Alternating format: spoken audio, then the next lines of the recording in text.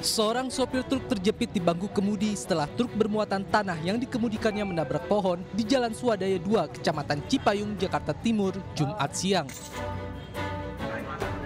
Bagian depan truk yang ringsek membuat pengemudi terjepit di antara kemudi dan pohon mahoni.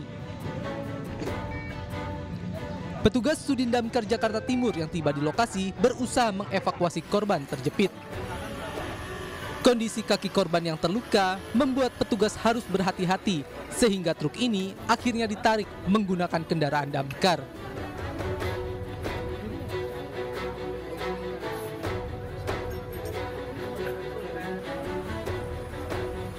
Setelah berhasil dievakuasi, korban yang mengalami luka dan patah kaki langsung dibawa ke rumah sakit terdekat. Pas posisi jalanan turunan dan dan berbelok itu nggak dapat, akhirnya membentur ke pohon. Jadi ya, si pengemudi ya terjepit kaki sebelah kirinya. Kecelakaan diduga akibat pengemudi yang salah berbelok di jalan menurun hingga truk kemudian menabrak pohon.